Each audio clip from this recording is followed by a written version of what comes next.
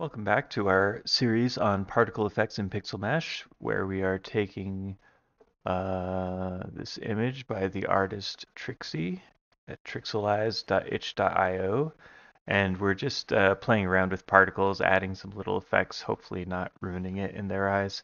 Um, and for this video, we're going to focus in on the little fireflies here.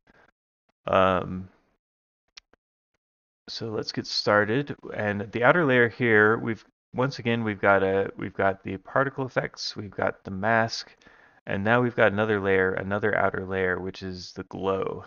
And so we're using this outermost layer to add this glow effect. Um, without it, they look like that. With it, they look like this. So that's the outermost layer. And then once again here, we've done our masking trick. We've got our color keyed area, we've drawn out the area in which the particles may roam, and then we have color keyed it out. And then within the particles, we've turned on this mask to parent layer thing, which uh, will uh, only allow the fireflies to go wherever there are pixels in the in the layer above. So we've we've drawn out the pixels where the particles can go, and then we've hidden them basically by color keying them out.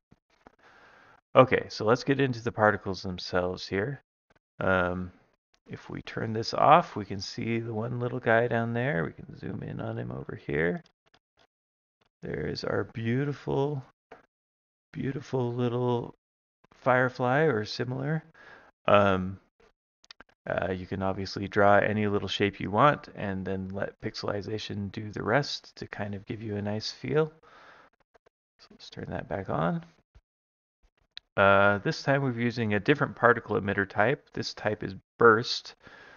And what burst does is it basically sends out a whole bunch of particles uh, in a burst uh, from a central spot, which is exactly what these uh, guys are doing here.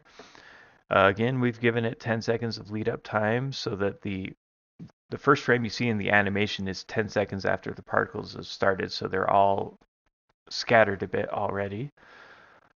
Um, and we have actually given them a direction, but you'll notice that our direction range is 360. So, and actually it probably could just be 180. But anyway, it is, the direction is set as down, but it's the plus or minus range is the entire area. So these, these guys can go in any direction and they have no they have no starting speed, but they have a speed range. So each individual particle is moving at a different space, different speed, plus or minus 20. Um, so they're going from 0 to 20 in any direction, basically, with all of this. We're not rotating them at all, although we could to give it a little bit more variation.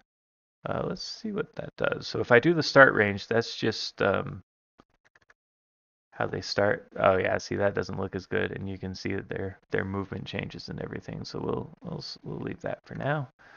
Back to zero. Uh, we aren't scaling them at all. We could also, if we scaled them a bit, it would be like uh, that, where they've got different sizes. This kind of looks like some are in front and some are behind, but again, the overall effect is uh, is not as fun. So we'll leave that off. And once again here, wobble is doing a lot of work. Wobble is motion uh, side to side, uh, pe perpendicular to whichever direction it shows up here. So whichever way it's going here, it's also wobbling back and forth uh, as it moves in that direction. So our wobble width here is quite wide and so here I'll show you if I turn this this was 1.3 let's turn it to 0 this is what they're actually doing, which is not very exciting. And then each of them, while it does that little bit of motion, all of the action comes in with the wobble here. And it gives them that feeling that they're darting out and then coming back to locations.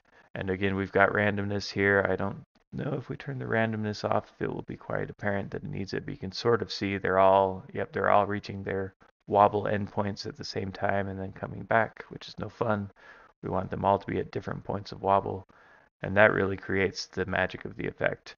And also, um, the masking is helping a whole lot. You can see the way that they're playing with the edges of the with the uh, of the surface here or going behind and playing interacting with the with the bridge and the leaves here and some of them can can fly a little bit in front so it feels a little bit more lively um, and then we are using flicker as well so some of these you'll notice they flicker on and off a little bit to give sort of a firefly effect though really fireflies would be flickering on most uh, off most of the time and then on a little bit but give them a little flicker to give them a little winkiness. This is really good for stars as well, to have them blink in and out a little bit. Uh, they're mostly on with a little bit of off time and then a bunch of randomness, so that happens at different times for different ones. Uh, we haven't touched opacity in this one. And that's basically it. All the magic happens. Oh, let's turn on the one of the best parts, which is the glow here. And the glow is really nice because as they as they hide, you can see the glow turns off when the when the source of the glow is hidden. See how that turns off, uh, even though the even though the outer range of the glow would still be visible. And for the glow, we've set it uh, pixel radius of 10, and then divisions and opacity. Just play with these values. Uh, you can see what they do, but it's it it changes the way the fall off works, and um, you can see these, if you zoom in, you can see these various uh, sort of gradations of color and opacity that happen with the glow. It's a really fun effect, so play around with it.